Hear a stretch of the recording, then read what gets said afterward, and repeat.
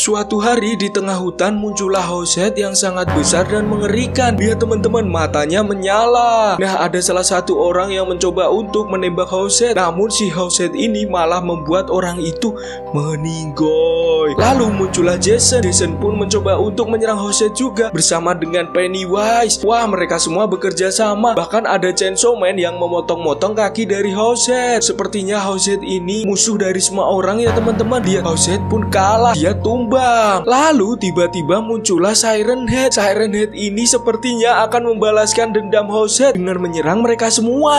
Nah, menurut kalian siapa yang akan menang teman-teman? Chainsaw Man dan kawan-kawan atau Hoset dan Siren Head? Coba tulis di kolom komentar ya.